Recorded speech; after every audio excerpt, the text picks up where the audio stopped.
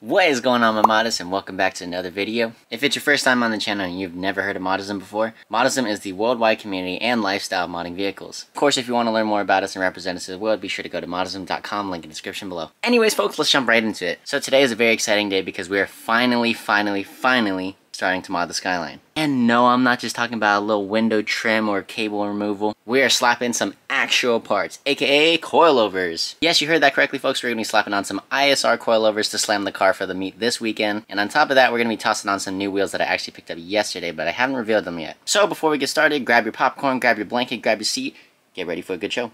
If you guys remember last time, we tossed on a Moddism flight tag onto the Skyline keys. And since the last time, I've also tossed on this little R35 GTR steering wheel keychain. I got this in my last visit to Japan, which interestingly enough isn't when I bought the car, but that is where I saw the listing for the car. We got Old Faithful parked up over there, and the Skyline just chilling in the corner, but as you can see, we have the fronts on ramps and the rears are already on jack stands, but I tossed on the new wheels because I wanted to test fit our Buddy Club P1s. These wheels are pretty cool because they're actually discontinued and um, they do have a lot of racing heritage, which is legit, but my favorite part is these little dice valve stem caps. Of course, one of the main reasons why I bought these wheels, new tires. So yeah, let's go ahead and pop these wheels off and get the rears installed. I am very interested to see how all this fits because the rears are 18 by 9, sorry, not 18, 17 by 9 plus 27 and then the fronts are 17 by 8 plus 22. So this is my first time running a staggered setup. Hopefully everything lines up just nice. We are going to be tossing on some R32 GTR fenders, so hopefully that does something. Over here we have the ISR coilovers that we showcased last time. Of course this time we will be slapping them on the car. Really excited for this.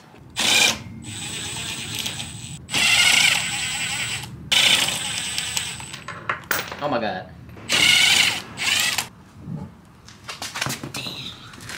They're kind of heavy, not gonna lie. So here's a look at the suspension components with the wheel removed. As you can see, the control arm, the bushings, everything underneath is absolutely crusty. See if we could take a look at the actual bushing from the strut. Yeah, it might be really hard to see, but the actual bushings are like next to none. That is insane. Yeah, this definitely needs a refresh. If I'm reading this correctly, and hopefully I am, looks like we only need to remove this bottom bolt and the ones holding in the top hat and it should drop down.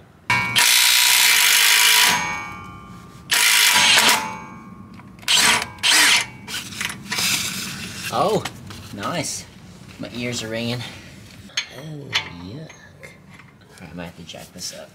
Okay, I lied. That just came off extremely easily. Nice. I've never even seen this part of the car before, but check this out. Look, they have a top hat cover, and look how clean that looks. Damn, the attention to detail is something else. So I got everything disconnected. It should, should fall out. Apologies, it was done off video, but if you ever find your guys stuck in the same place that I was just at, I literally just unbolted the three bolts that are holding up the strut, and then uh, I had to kind of like pry and hammer this piece off of this bolt right here. And once that came off of the bolt, this whole thing just fell down. And took some pieces of rust with it. but nice, first shred out. So here we have our ISR coilover. This one is for the rears, I double checked. One way you can easily double check if there's no markings on there is just grab the OEM one, look how far apart the two studs and nuts are. But of course, just a brief overview of the coilover, we have these three locking collars. The top two are for preload and the bottom one is for height adjustment. And with these coilovers, they did provide us with two spanner wrenches, which is great because my D2 coilovers, I bought them on Facebook Marketplace, never came with any, so I had to use a hammer and a chisel. Alright, now that we got the top two locking collars done, I am gonna go ahead and turn it all the way to the full stiffness. I've never even felt the ride quality of these before, but I am assuming that I'm gonna be driving this car a bit harder, so let's... Nice. Take off your brand new hardware. Alright, and for the height, I'm going to install it on the car first and then do all of that. Because we're gonna have to toss the wheels on a couple of times just to see if everything fits. But yeah, without further ado. Why is it not twisting anymore? That the max? No way. I guess that was the max. Holy cow. Alright, well, I'll just toss them on the car like this and see how they are. And then I'll measure the threads after. So don't worry. You really did eyeball it well? Yeah, of course I did.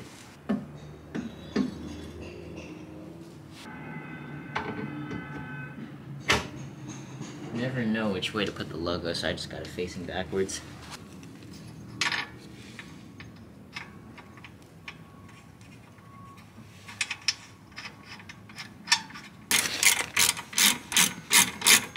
Now with the jack, we're gonna go ahead and raise this whole system up until the coilovers go past those holes. As you can see, we got them up in there. Time to close the gap.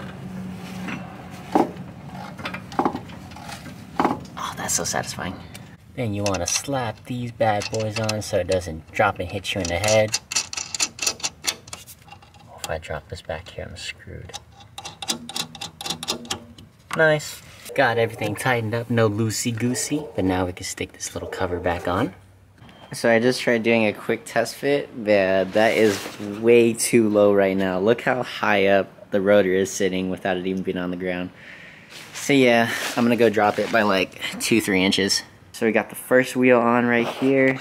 Dude, it's not even sitting on the ground, so we're a bit worried that it might crunch the fenders, give me some bacon fenders when we put this down, but yeah, damn. Yeah, so we just got the other side removed. This took like less than five minutes. Look at Dylan taking care of the new one right there. Yeah, also do it. Can you uh adjust the stiffness all the way to the max out? Oh yes, of course. Thanks, boy. yeah, this one over here, pretty promising. Um, I think we might take off the wheel one more time before we lower the car so we can match up both sides exactly. But yeah, so we just got the passenger side and the driver side on. It's looking absolutely nice. But now we're gonna go ahead, jack it down, and see if we need to make any adjustments. All right, here.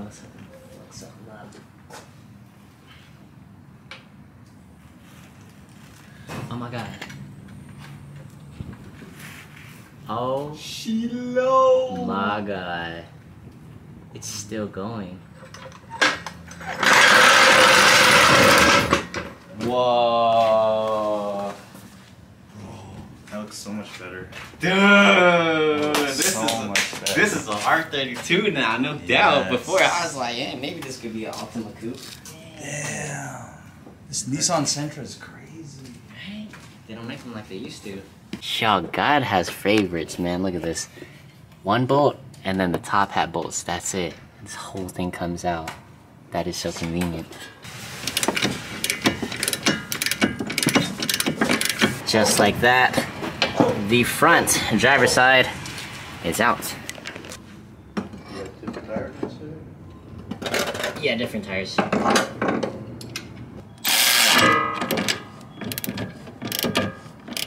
Alright, so as you can see, we got the fronts installed. Just need to knock out the other side, but dang, that shit looking nice. Alright, man. Moment of truth. Oh.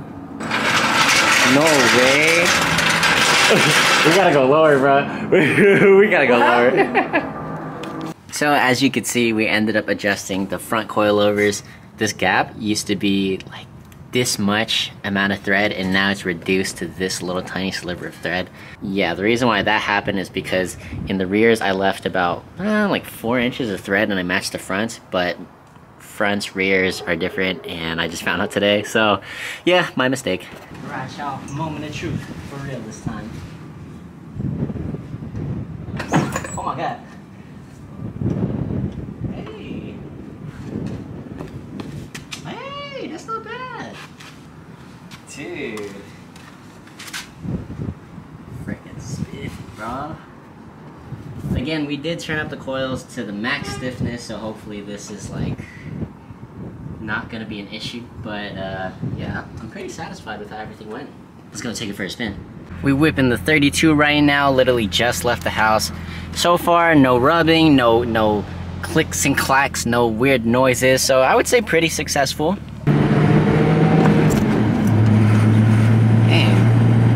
Just say right now, compared to the stock suspension, the ride quality is way smoother. And again, we did turn up the coils to max stiffness, but even at max stiffness, it's really nothing crazy. I enjoy this little tight-knit race car feel. So yeah, pretty successful. And of course, do not forget that these are brand new coils, so they will still settle in for the next couple of days, and maybe next time around when I film it, it'll be a bit lower. But I'm really satisfied with this current ride height. It's pretty low, like lower than my Civic, but it's not too low to the point where it's just impractical, you know?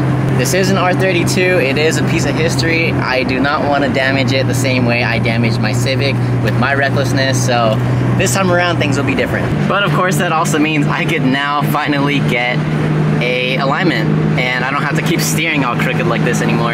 Okay, so after driving it for a little bit more, I did notice that the driver's side does rub a little bit. I'm not entirely sure if rolling my fenders will resolve that problem or if I just gotta like raise it up a little bit, but yeah. Also, as you can hear, the car literally just died. Oh my god.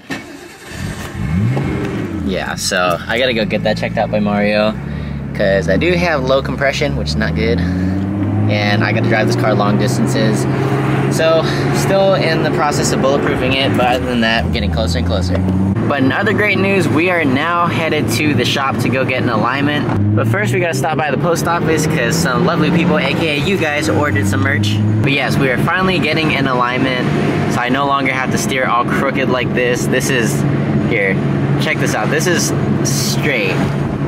But yeah, we're gonna get that fixed, and once that's done, we're gonna look for a new steering wheel because this one is absolutely torn and just, it's really old and cracked. Guys, I still cannot get over the fact that this is an inline six, two liter, legit, same size in theory as the Type R engine, but it sounds pretty good. Woo! Just pulled up to the shop, time to get this alignment done. So we are inside the shop right now, as you can see, got Matt's LS swapped RX-7. This is for sale. So if you guys want to inquire about that, be sure to message the shop. But this looks like a Ford Raptor, I think.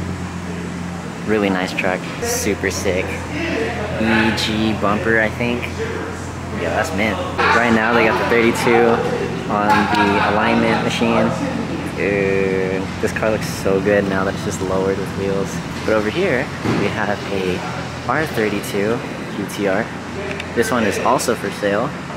Um, I believe last time I checked the asking price was 50000 but it is Cali legal. So that is really, really rare to find. Absolutely mint interior. Who knows, maybe in a couple years if this car is still here, I'm gonna buy it. And of course, the big, beefy RB26 with the little Nismo oil cap. It's pretty cool. Man, this is the real deal. And then we got me right there. So over here underneath the car, got Mike heating up the tie rod. Shout out to Mikey, hell man. And because the GTSTs have rear steering, like slight rear steering, you also need to do an alignment on those depending on if your system is still active. I have no idea, but it's best to just check everything out while we're here, you know? Here are the results right now. As you can see, this thing definitely needed that alignment. Man, this thing is sitting nice. Here she goes. The car is all done now. We should have a straight steering wheel. Inside the car right now, yo, that is a straight steering wheel. It's so funny that the norm is what amazes me. Now that the alignment is all taken care of, there's one more thing we need to address. And of course, that is this piece of fabric just dangling off. So to fix that, I'm gonna super glue it. As you guys can see, I have a little bit of super glue on there. I'm trying not to apply a lot because if it dries and soaks through, it's gonna be really hard. And you don't want your skin to be brushing up against that. So yeah, we're just gonna be doing little dots all around this. So we got everything smooth and tucked it's not perfect, but it looks a whole lot better, especially compared to before when it was just dangling. Yeah, piece by piece. Alright folks, it's a new day, and today we will be washing the R32 for the very first time in years. Yes, you heard that correctly, in years. This car is imported from Yokohama back in 2022, and when the seller had it, it just sat. Then when I went to go buy the car the night before, he rinsed it off. And since then, it's just been sitting, but today we'll be giving it a proper wash, inside and out. Because I'm not gonna lie, it really needs it. You ready, man? Give me five. Oh, you missed. Hey, hey. You know, in all honesty, this car is not even that dirty.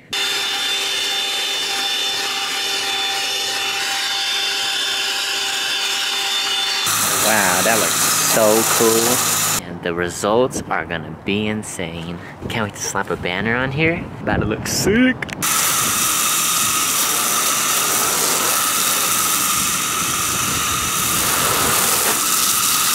There's one product I absolutely recommend. It's this Apex drying towel. Look, this panel is wet. It takes one swipe and it dries the whole thing. Insane. Just like that, folks, the Elegy Retro is all cleaned up. This is a really crazy sight because this is the first time the car has been deep cleaned in, I would say, maybe like a year and a half, two years. But yeah, for a 34 year old car, the paint condition is in pretty good state. I wouldn't be surprised if there was a respray at some point, but yeah, I have no complaints at all. I absolutely love this car, despite all those mishaps in the very beginning. It's all coming together. So next up, we gotta refresh that tint and slap on a Moddism banner. Bam, son, check out that mock-up. I did not think I would be ever putting a banner on an R32, let alone mine. This is crazy. Anyway, let's do it. Got our first piece down. There's no going back, yo. Only at the halfway point right now, but I cannot get over how good this looks. Mud. Oh yeah, mud. Putting the finishing touches on here, you know what I'm saying. Oh. Oh man, this could be crazy. Ooh, I'm too hyped. Man. Wow, that is beautiful. Black white combo. Almost there. Almost there. Three, two, one. Bang! Check that out. It is now officially the Moddism R32. Yes. That looks so sick. Lordy lord. Nice and even. Centered. You know it, man. Sheesh. Now we got the R32 and the Skyline. Not the Skyline, the Civic twinning. For my OG supporters, we made it, y'all. We're in the process. This is something that I used to dream about all the time in high school. And now we don't just have one, but we have two of my dream cars. And they're both rocking Moddism. How amazing is that?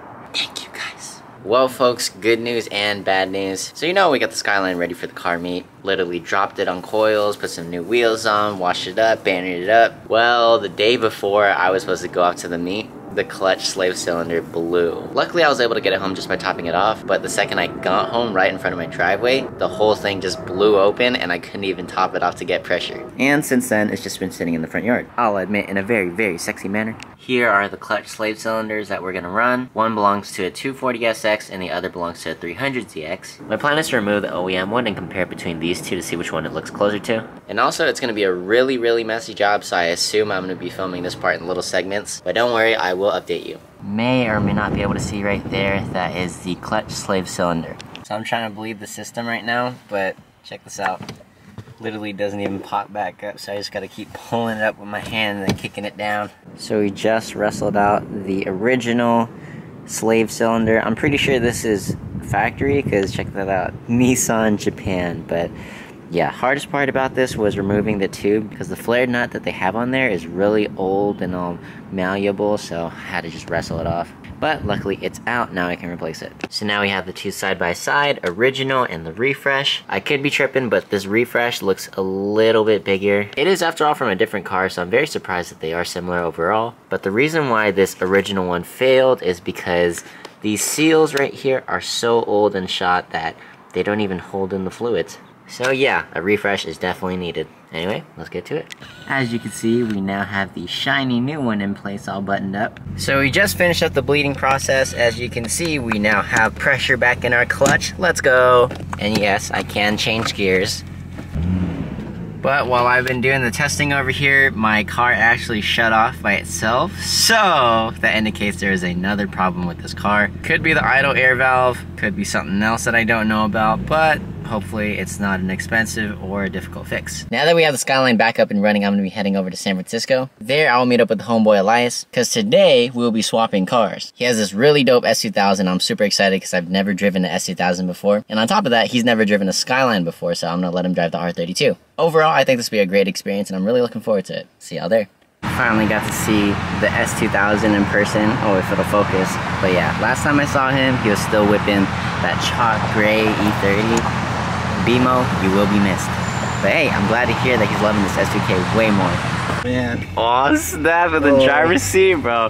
I'll chill to the back right now. Yeah, this is chill, man. Is this your first time driving a right hand? This is my first time driving a right-hand drive car, Oh, like snap. not on the sim. Okay, So I just want to make sure I'm in the right. You're good, man. Take your time. Oh my god. Ain't nothing to it. Wow, this is so cool. so true. This is so cool. And then we got the Golden Gate Bridge right there, y'all. Whoa. Oh, damn, that's a big old pothole. I know. No, I, like, I did not see that on the way in. This is crazy. And then after this, you're gonna let me know if you like right hand or left hand more. All right, I got you. Oh man, this is. I'm like tripping out because like, because like it just like what? well, it must be crazy for you because it feels like a self-driving car, huh? Yeah, she's never been in a right-hand drive car, so. I'm still getting used to uh, the whole kilometers thing too. So Oh, that's right. Yeah, so I I'm like, say, shoot. How fast do you know? I think 40 is like 28 or something like that. It's really weird. Oh man. I'm thinking about going louder exhaust. What do you think? I think I think you could. I think you could. I don't know what exhaust is on here right now. I think it's a Nismo one, so it's like it's pretty, Oh, okay. uh, It's pretty like, oh, factory yeah. quiet, a little Yeah. loud, but I don't know, man. That I- that Tomei is calling my name. I love a good Tomei. As you know, the S2000 I have a J's Racing, so That's that tells you awesome, what I think about about noise. Heck yeah. I mean, I think I think she enjoys it. She she likes it. That's good. Not a lot of drone. Not a lot of drone unless you unless you get off of it. Ah, I see. Okay. Do I go straight? Uh, I would make a left. Thank you. even my car. Thanks, bud. it's his. It's a it's a rental for the day. oh, I already stalled You're it. chilling. You're chilling, bro. Oh, there we go. We're there good, we go. we're there we go. Yes, sir. Oh man, it's so different than the S2000. The S2000 is so forgiving. Like even if you take the foot off the clutch, like the car will like roll, and it's almost like impossible to stall. Does it have a, clutch delay valve? It does have a clutch delay. Oh, valve, nice, And nice. so I think I think that's what what really helps. Oh yeah. Um, but it does make the shifting a millisecond, you know, like slow. Like, when you do Yeah. it, it's not the instant. Like, don't get me wrong, I absolutely love the way my Civic drives, but Yeah. this one is just way more mechanical. Yeah, and so like the E30 was that way too. Like I would just do it and it would go right away. Heck yeah. Like the the SI and the old I, I the the 22 SI Mhm. had the clutch delay valve too, so it wouldn't go automatically. And I'd be like, "Am I shifting wrong?" And then you have to get used to shifting with it. You Yeah. go back to a car where it doesn't have one, then your shifting's all messed up. Oh, I feel you. Do you miss the SI? I do, I do, but I don't miss how it just randomly broke one day. Wait, really? Yeah, it randomly broke one day. One day. Oh, oh, oh. You're chilling, you're chilling. Sorry, you got it, you got it. oh yeah, I forgot to mention, we have an upgraded race clutch. Oh, that's, yeah, that's why it's on. Okay, It's super sensitive. that makes sense now. Dude, this is this is so sick. You having fun? This is so sick. I'm not even going fast, and I'm like, this is sick. I, I love this car because it's my cruise car. Like the Civic, that's my race car. but Oh, yeah? with this one, because I can't shift fast, I'm like, yeah, this will just be my cruise car. Uh, wait, wait until you until you get there. Oh man, I'm so hyped for that. Like, Feedback. Wait, where's the? Oh, it's on oh yeah, it's on the right side. Oh, that tripped me out. So sometimes, like, uh, I think around like 120 or 130 kilometers, you'll Uh-huh. hear the uh, speed chime. Really? Yeah, I was Oh, like, you- yeah, I was like, is that my keys jingling? Yeah, but I was like, oh no, that's the car. Oh my god. That's so sick. All right, y'all. It is now time to whip the S2K. Oh. Hey, he's checking out the skyline right now, but here's the interior, the very famous S2000 gauge cluster. Yo, this is crazy, man. Twist it, and then all the way. Yep, like you're going to start it, and then now you can just press it. Hold it. Yeah, yeah. Sorry. Oh, this is like a damn. This is a legit race car, man. Snap. Clutch intercooler, but just missing the tune. Yes. I love you, car, bro. Uh, thank you so much. What's your name, dog? All right. Lunch. I'm Chris. Nice to Nice to meet meet you. you. You have a you? Yeah. there you go. Oh, you got this. There you go. There you go. There you go. Oh, first try. Let's Oh. drive it like you own it, right? yep. And it pulls all the way. Pulls all the way to eight thousand. You can pull. VTEC kicks in at about five grand. Five grand. Five grand. Dude, I love the sound quality on here. 70 RR, man. Shifter is really smooth. Yep. Dude. It's a little go kart. I know, bro, with the tiny steering wheel too. Oh man, that's the cake. That's icing on the cake. This is this is real, real Honda right For here. real. I've never experienced real Honda. I've never experienced uh, actual VTEC besides my Honda Odyssey. Yeah. So yeah, this will be some, something new, something new. Be perfect. Let's get some first first initial thoughts, Chris. Oh, I love this car, man. I'm gonna own one someday. Yeah? I hope I don't stall, bro. This is gonna be embarrassing. Bro, just do it. Just gas it. Oh. Okay, just gas it. Just Throttle response is on point, man. Yep. It's drive by wire instead of throttle cable. Oh shit! oh my god! This is crazy, bro. I like it. I love it, man. It's crazy. Oh, you don't even know the half of it yet. You you you didn't even touch VTEC yet. that was, that You'll was hear like it. 4,500, Yeah, bro. you'll hear it. You're gonna hear it. Damn, that shit's hella responsive.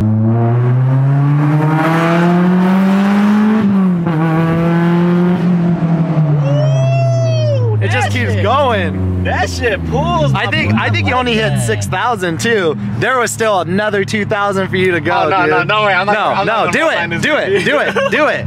I'm giving you permission. Do it. This crazy, hey man. If you gave me permission, Do I'm it. I give you permission.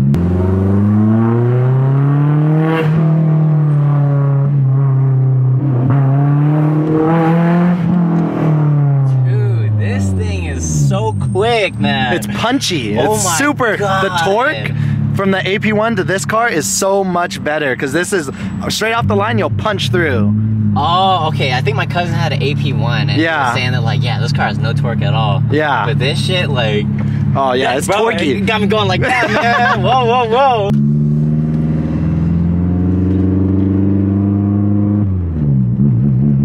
Dude, this car sounds so good, man. I can't get over it. Yeah, test pipe. No, no cats. No nothing. I don't want to floor it in a turn. Oh yeah, it, it gets it, yeah, drive. it gets it gets a little squirrely sometimes, but I've never accidentally slid yet. So Really? yeah, Damn. and I mean I'm going pretty fast. So.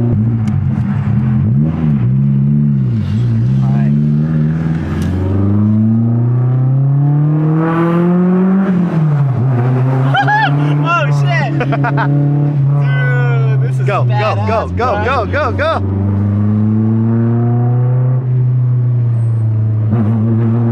This shit's so punchy, man. Whoops, gotta get Th- That's okay. That's okay.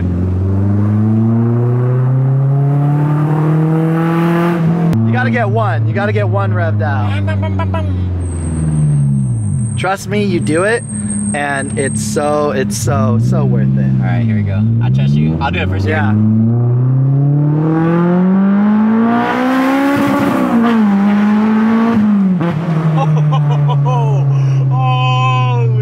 Right. Oh my god, man, this is crazy, bro. This is crazy. Guy. Lights in the driver's seat, you know what I'm saying? Here we go. Yes, sir. Oh, this feels so different from your clutch. I'm like pushing in, I'm going straight to the floor, and I'm like, oh. yeah, this, this this car definitely drives like a Honda, man. Dude, this I don't even know how to explain it, but this car is perfect.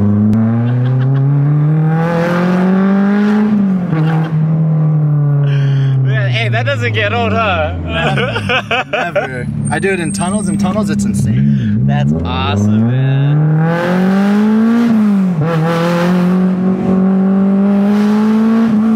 Oh, you good? You good? You good? Do you have plans to go supercharged in the future? I thought about it.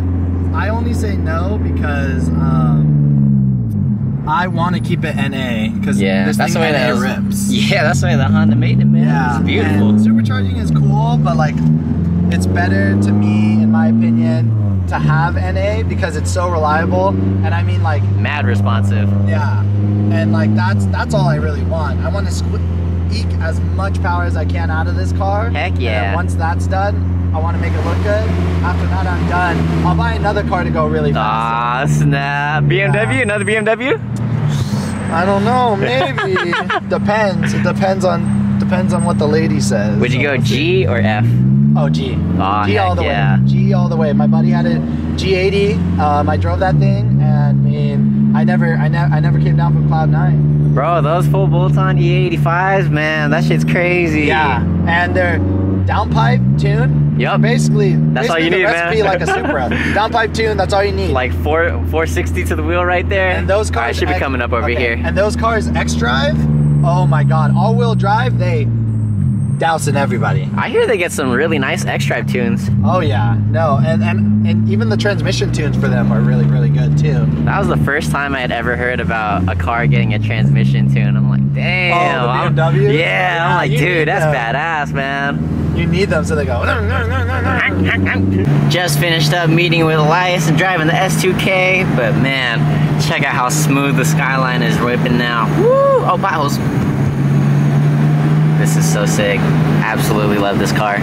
Well, guys, we are back home now. And that was a very, very eventful experience to say the least. So, like I said earlier, that was my very first time driving an S2000. In all honesty, I just gotta say, it is a great, great car. So, huge shout out to Elias for letting me drive this S2000, and shout outs to him for driving the Skyline with no fear. But, anyways, folks, that is effectively gonna bring us to the end of today's video. I know, pretty interesting. It's the first time I'm shooting an outro outside. But yeah, I hope you guys enjoyed this video, whether it was the install of the coilovers and the wheels, or watching me drive an S2000. The Skyline has been down for a bit of time, which is why you haven't really seen content on YouTube about it. But now that you are watching the wheel reveal in this video, I can finally post more on TikTok and Instagram. Now, real talks, guys. The next time you see me, it will probably be at the Fitment event, which I literally got this car all built and ready to go. I say built, but I literally just lowered it on coils and did some maintenance things. Nothing crazy. But yes, for the first time, we will not be bringing the Civic. We will be bringing the Skyline. I'm super excited for this event because it's hosted by Illest. If y'all know a thing or two about Illest, Illest is the brand that inspired Eliminate. So a lot of heavy hitters at this event. I don't even know why we got invited, but I'm very grateful that we did. Shout outs to Bay Euros for extending the invitation out to us. I'm super pumped for this. And I'm also really excited to see what you guys think of the new wheels and coilovers on the Skyline. Be sure to comment down below and let me know if you guys enjoyed the vlog. But anyways, my modest, until next time, stay safe, stay healthy, stay happy, and I'll catch you guys soon.